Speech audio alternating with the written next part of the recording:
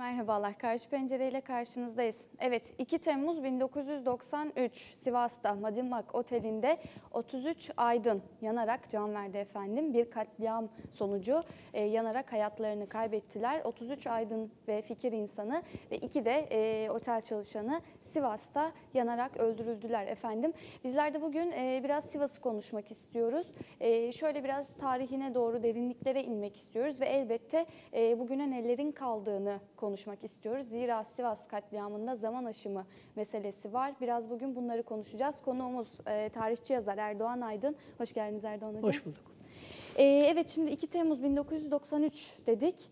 Öncelikle şöyle bir e, tarihsel e, geriye gidersek. Neydi o gün, neler yaşanmıştı, e, bu saldırı bir anda mı çıktı, e, haberlerin çoğunda e, ve dönemin e, başbakanları, bakanları içinde öfkeli bir kalabalık saldırmıştı. Ee, öyle söyleniyordu. Öyle miydi mesele? Saldıran grup e, grubun bir altyapısı var mıydı? Bir oluşumu var mıydı? Yoksa gerçekten sadece öfkeli bir grup muydu o gün oradakiler?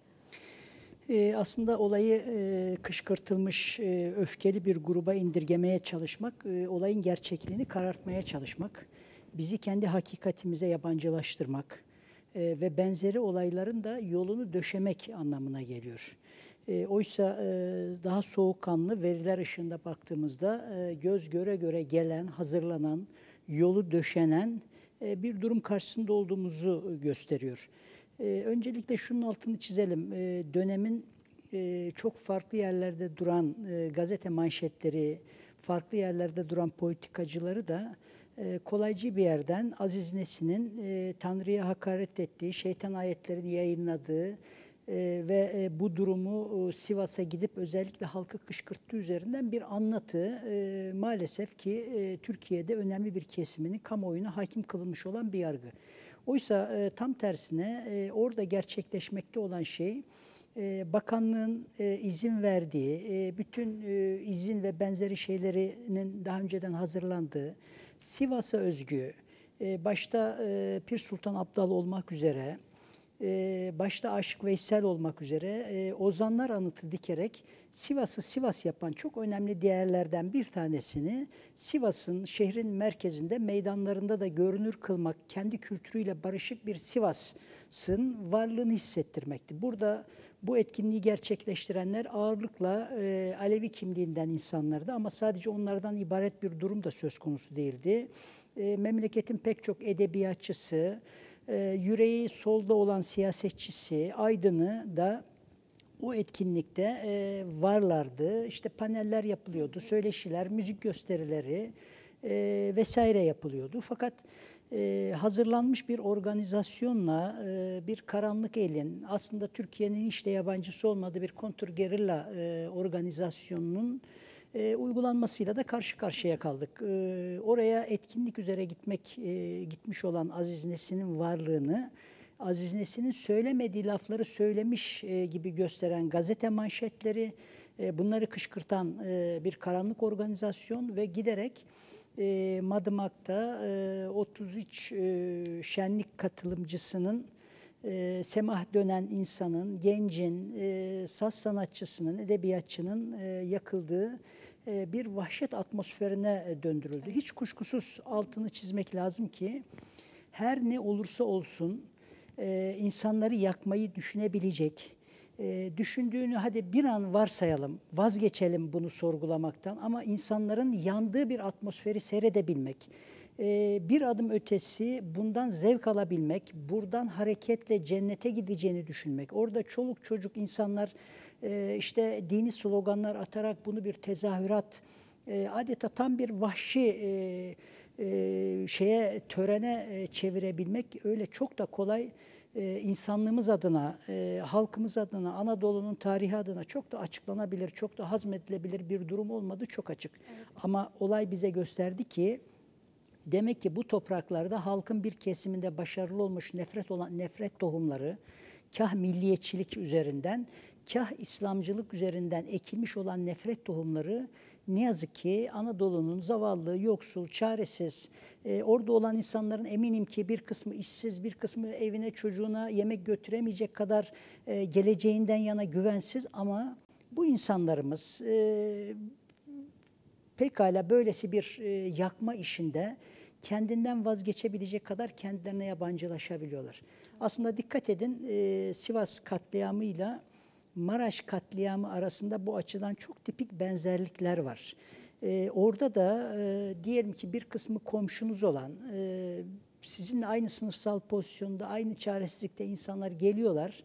E, sizin e, kızınızı, dedenizi, e, bebek kundaktaki çocuğunuzu parçalayabiliyorlar. Evlerinizi yakabiliyorlar. E, Sivas'ta da benzer bir durum. Bir tanesinde e, işte e, milliyetçilik üzerinden kendini gerçekleştiren ama insanlığına yabancılaşmış e, bir güruh kullanıldı.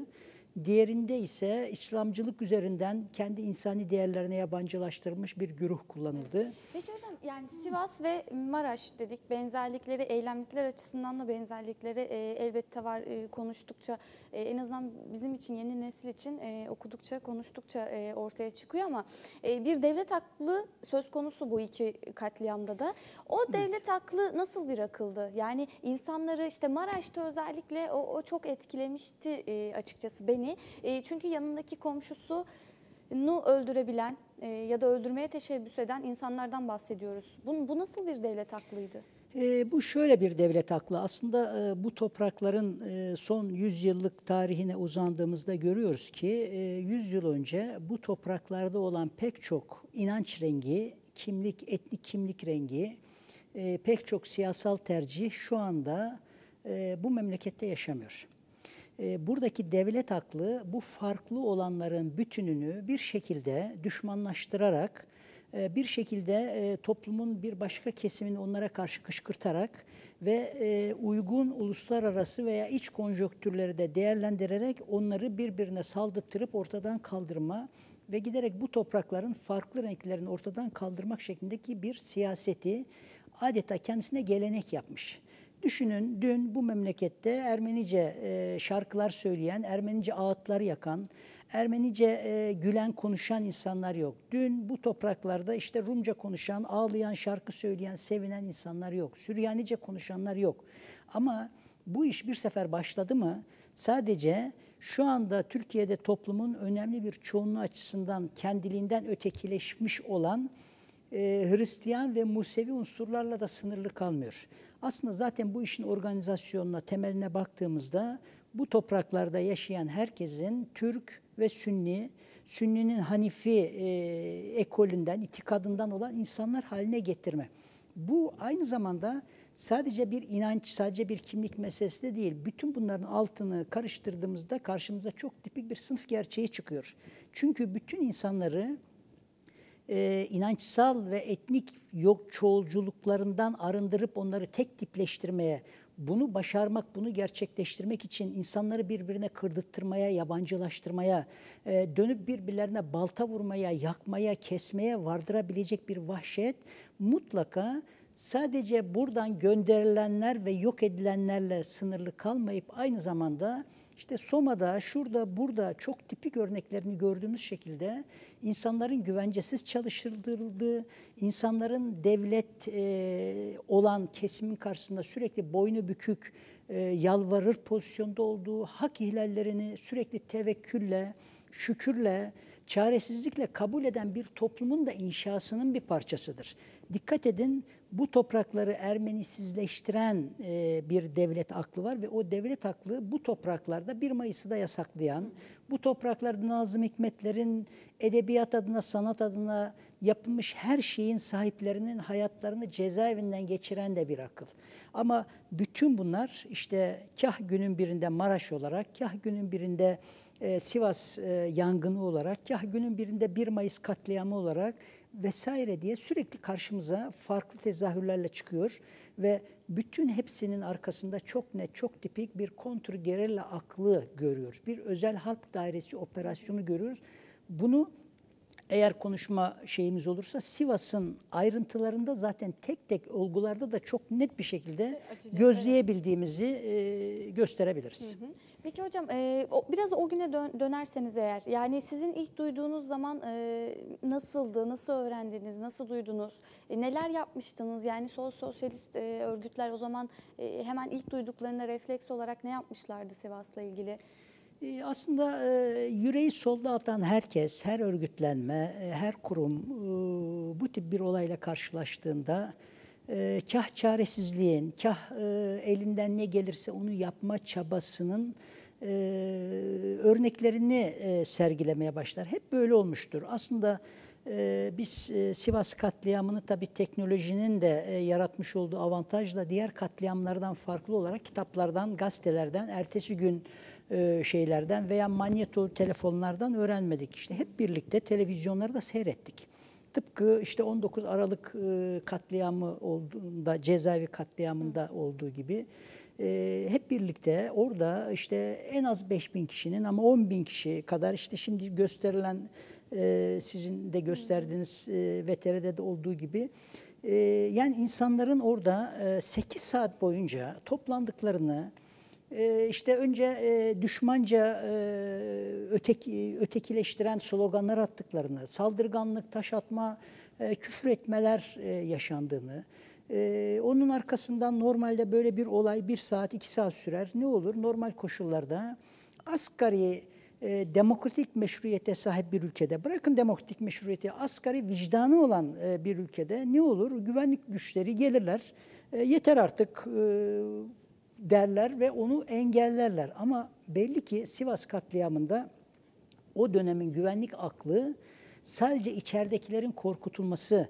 sadece Pir Sultan Abdal'ın şahsında Ozanlar Anıtı'nın Sivas'a dikilmesini engellemekle, sadece e, bu memlekette işte Alevi olmanın, sol olmanın, ateist olmanın veya herhangi başka bir şey olmanın, farklı olmanın e, korkutulması e, ve caydırılmasıyla sınırlı kalmamış. Belli ki bunun ötesine geçmeye karar vermiş ki adeta e, söz konusu e, vahşi güruhu, insan yakan, e, cinayet işleyen çünkü bunun e, toplantı ve gösteri yürüyüşüyle falan alakası olan bir şey yok. Bu doğrudan e, bir cinnet hali ve bu cinnetin organize bir şekilde yürütülmesi gerek o topluluğun içinde gerek o topluluğun çevresinde olan güvenlik amirleri gerek basın yayın gerek işte Ankara'da oturmakta olan ve olayı birebir izlemekte olan kontrgerilla aklı, politikacılar hepsi birlikte aslında o olayın zaten benzer bir şekilde sonuçlanmasını istiyorlardı ve bunun sonucundur ki mesela askeri kuvvetler geliyor hiçbir şey yapmadan geri çekiliyorlar. Polis geliyor hiçbir şey yapmadan geri çekiliyorlar. Ee, adeta oradaki insanların cesaretlendirilmesi üzerinden bir atmosfer söz konusu. Bir adım daha öteye gidelim.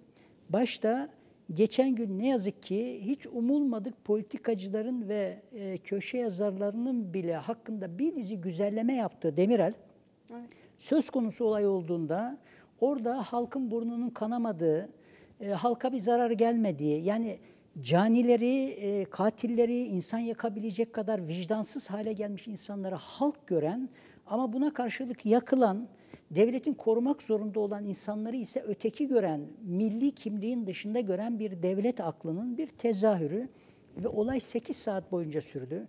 O sırada memleketin pek çok yerinde e, vicdanı ayakta olan, sol kimlikli olan insanlar yürüyüşler yaptılar, e, çığlıklar attılar, e, ulaşabildikleri yerlere ulaştılar ama e, dediğim gibi e, ne yazık ki e, akşam hava karardığında e, 9-10 e, civarına geldiğinde e, kalabalığın artık içeriden et kokuları gelen bir mekandan ayrılma e, pozisyonuna geçtiklerinde içeride e, 33 tane insan, 33 tane kadın ve erkek, 33 tane çocuk ve yaşlı, işte Asım Bezirci'den tutun da gencecik 14 yaşındaki e, çocuğa kadar e, insanların e, yanarak e, can e, verdiği e, bir atmosfer. E, böyle bir atmosfer e, aslında e, ne kadar e, hukuksuz, vicdansız, e, sözcüğün gerçek anlamda kullanalım, ahlaksız bir e, aklın e, ne yazık ki e, siyasete, topluma egemen olduğunun da çok net e, göstergesi. Ve o gün o gün e, Sivas'ta bence çok şey kaybetti kendisinden. Türkiye'de çok şey kaybetti. Tam soracaktım hocam. Biraz da bize e, onu anlatırsanız. Yani özellikle biz yeni nesil e, ne, ne kaybettik? Oradaki aydınlarımız e, nasıl aydınlardı? Nasıl edebiyatçılardı? E, ve, ve biz bugün nasıl eksik yaşıyoruz? E, bence yeni nesil açıdan e, Asım Bezdiricileri, Nesim İçimenleri, e, yani diğer şairleri, edebiyatçıları kaybetmiş olmaktan çok daha derin bir kayıp e, karşısındayız. Biz aslında insanlığımızın zehirlendiğini gördük. E, sizin gibi e, gençler değil ama e, bu memleketin ne yazık ki çok önemli sayısal oran itibariyle çok önemli bir çoğunluğu e, olan genç e, bu olayları, bu katliamları normal görebilen, üstünün örtülmesini meşru görebilen bir kültürel atmosferle büyüdüler.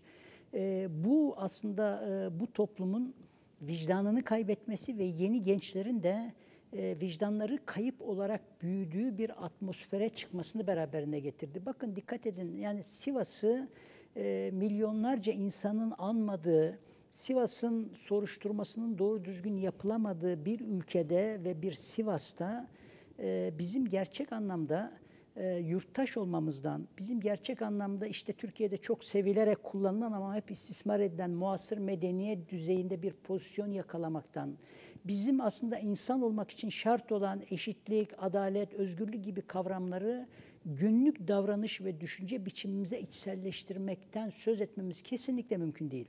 Esasen siyasal tercihler, oy verme refleksleri, neyi önemseyip neyi önemsemediğimiz meselesinde özellikle genç kuşaklara baktığımızda ne yazık ki 70'li yılların dünyasının genç kuşaklarından bambaşka bir kuşakla karşı karşıyayız ve bu durum örneğin o güne göre daha zengin bir ülkede yaşıyor olmamıza rağmen o güne göre daha adaletsiz bir Türkiye'de yaşamamızı da beraberinde getirdi. O güne e, oranla e, farklı olanlara karşı e, nefret üreten e, apolitik, bana neci bir kuşağın da yetişmesini eğer bir yerde tepki gösterirsen mutlaka bu bana zarar verir deyip tepki vermeyen bir insanlar kuşağının var olmasını da beraberinde getirdi.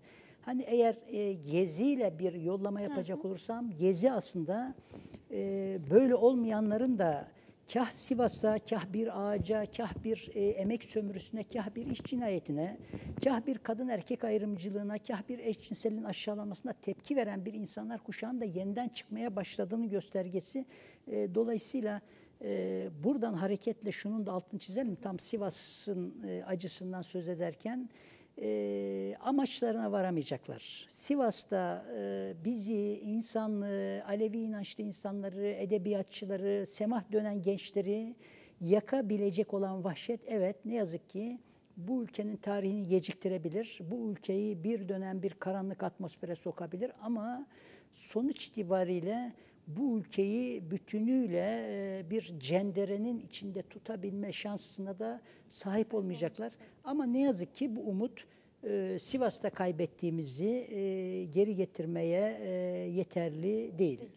Az önce Süleyman Demirel'den bahsetmiştik. Kendisi en azından sadece bu suçu bile göz önüne alırsak Korkunç. Şey. yargılanmadan e, evet. öldü. Hatta bir demokrasi e, şeyi olarak da evet. öldü. Buna mesela gariptir, ilginçtir. E, e, Cumhuriyet Halk Partisi Genel Başkanı Kılıçdaroğlu, e, kimi işte zaman zaman çok olumlu pozitif yazılar yazan soldan sol gibi gözüken kimi köşe yazarları falan da dahil Demirel'den adeta bir demokrasi kahramanı e, falan bize çıkarttılar. Oysa dediğiniz gibi salt bu olay karşısında sergilediği davranış e, aslında Demirel'in, Demirel zihniyetinin, Demirel'in zihniyetinde yansıyan devlet yönetme aklının, güvenlik politikasının ciddi bir şekilde yargılanmasını ve hesaplaşılmasını gerektiriyor. Evet. Şimdi Demirel öldü dedik yani bu suçtan yargılanmadan e, öldü ama hala yaşayanlar var. Tansu Çiller dönemin tanıklarından ve bizzat evet. meselenin e, özünde bulunan insanlardan birisi. Mehmet Ağar keza öyle. E, ve aslında bunlar yargılanmazken bu saydığımız iki isim bile e, hala yargılanmazken üstüne bir de e, dönemin başbakanı Recep Tayyip Erdoğan zaman aşımı davasından sonra milletimize hayırlı olur inşallah bu karar dedi. Evet. E, ne yapmaya çalışıyor devlet? E, aslında e, bu verdiğiniz iki örnek, e, iki farklı cenahtan verdiğiniz örnek bize aslında e, birbirleriyle kavga edip bizim ötekine karşı bunun arkasında dizilmemizi sağlamaya çalışan iki devletin cenahının, iki egemen ideolojisinin de aslında bu memleketin mağdurlarına, mazlumlarına karşı aynı zihniyette e, ve aynı yerde durduklarını gösteriyor. Sivas katliamı gerek milliyetçilik bayrağı üzerinden bizi yönetmeye ve kontrol etmeye çalışan güçleri, gerek din e, üzerinden, dini siyasallaştırmak üzerinden bizi yönetmeye çalışan güçlerin aslında birbirleriyle farklı siyasal atmosfere, birbirlerinden farklı devlet anlayışlarına sahip olmadıklarını ve her ikisinin de sözde demokrasinin aslında birer nüansını oluşturduklarını bize gösteriyor. İkisi de e, Türkiye'de tabii sadece Sivas'ta sınırlamamak lazım ama Türkiye'de gelenekselleşmiş olan cezasızlık politikasını sürdürmek.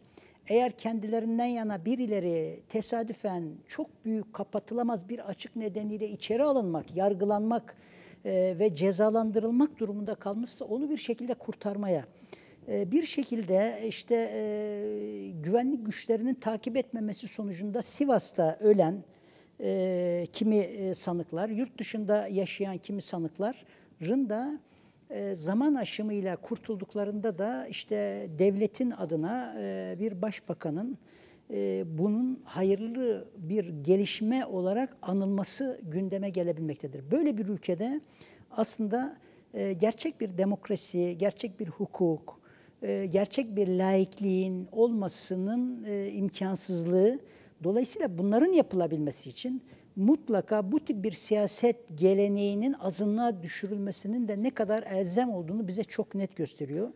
Çünkü e, Sivas katillerinin gerçek anlamda yargılanmadığı bir ülke bir yeni Sivaslara gebedir. Evet. İki, yeni Sivaslara varsayalım ki gebe olmasın ama e, böyle bir ülke gerçek anlamda demokratik bir vicdan, bir yurttaş refleksini gerçek anlamda sokaklarına, politikasına, basın yayınına hakim kılabilme şansına sahip değildir. E, bakın e, bu olayı kapitalizm içinde aynı sömürü sistemi içinde iki örnekle e, de vermek istiyorum. Tabii. Örneğin Almanya'da e, Burjuva demokrasisinin kurumsallaşabildiği, buna uygun muhalif dinamiklerin olabildiği bir ülkede e, Solingen'de öldürülen, yakılarak öldürülen üç e, Türkiye vatandaşının, bir annenin ve iki çocuğunun katillerinin hala cezaevinde olduğu, iki oranın devlet yöneticilerinin o evi bir anıt mezara çevirip her yılda bir devlet görevlisinin yönetim düzeyinde, hükümet düzleminde gidip o, o anmaya saygı duruşu, boyun eğme, suçluluk teslimiyle e, anmanın yapılabildiğini görüyoruz. Aynı durum Türkiye'ye geldiğimizde birincisi 22 yıl sonra bile hala e, Madımak katliamının yapıldığı otel e, işte en son 3 yıl önce bir bilim müzesine çevirdi. Bilim müzesi de hani laf ola beri gere e, bir şey. E, hiç ne bilimle de alakası yok ama bizim bilim orada Madımak Oteli'nde bilim müzesine ihtiyacımız yok. Bizim Madımak Oteli'nde bu katliamın yapılabilmiş olmasının neden olması gereken utancın, orada yakılmış olan insanların anılarının devam ettirildiği bir anıt ev yapılması lazım.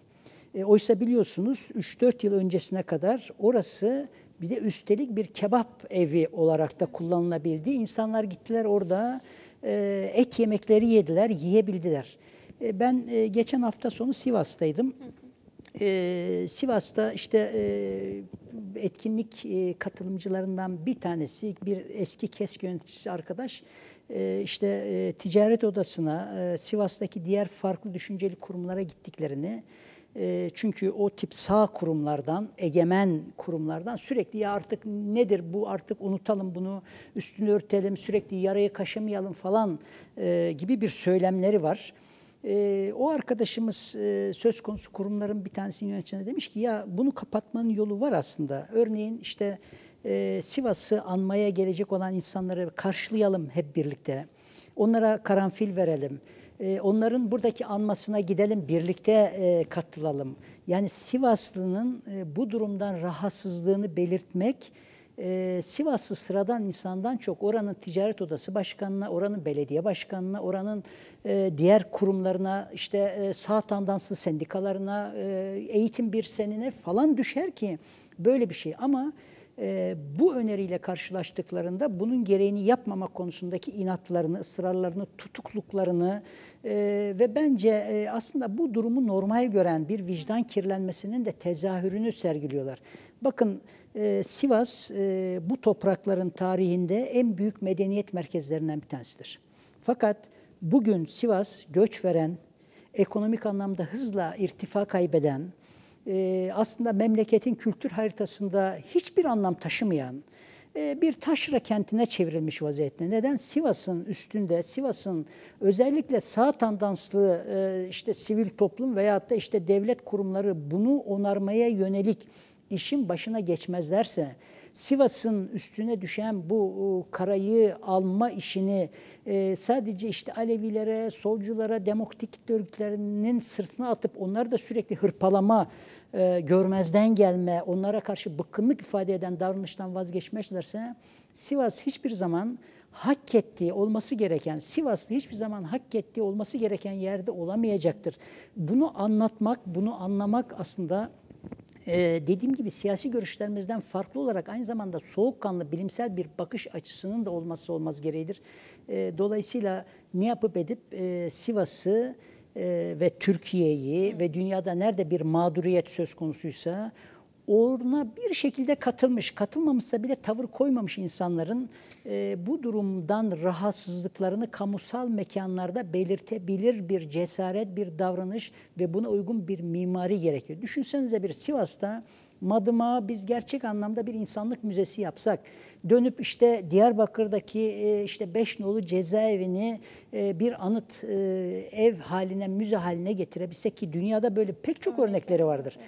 Bunu yapabilsek aslında Türkiye'miz neler neler kazanmazdı. Biz insanlar hani en küçük bir şekilde birbirimizin boğazına sarılan, birbirimiz hakkında etmedik ötekileştirmeler yapan insanlar birbirimizi sevmeyi öğreneceğiz.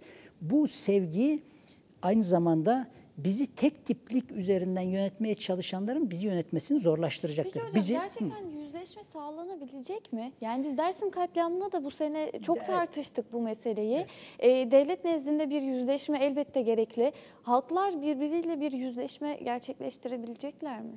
E, ne yazık ki çok zor bir şeyden söz ediyoruz. Ama e, biz e, insanlığımızı ayağa kaldırmak, yurttaşlık haklarımızı ele geçirmek, evrensel insanlığın bir parçası olduğumuzu göğsümüz gere gere ifade edebilmek için e, bunu yapmaktan başka hiçbir çaremiz yok.